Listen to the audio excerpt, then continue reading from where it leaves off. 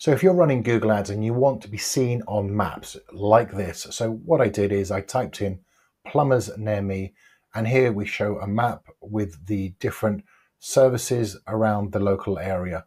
So to do this for your Google Ads, come into your Google Ads, come to Tools, Data Manager, Connect Products, and then what you're looking to connect is the Google Business Profile. Once that's linked, then what we need to do is come back into the Google Ads, click on campaign, click on assets, click on location. Once you're in the location, add in the plus button. And then from here, we just need to click on the location, press save, and hey presto, job done.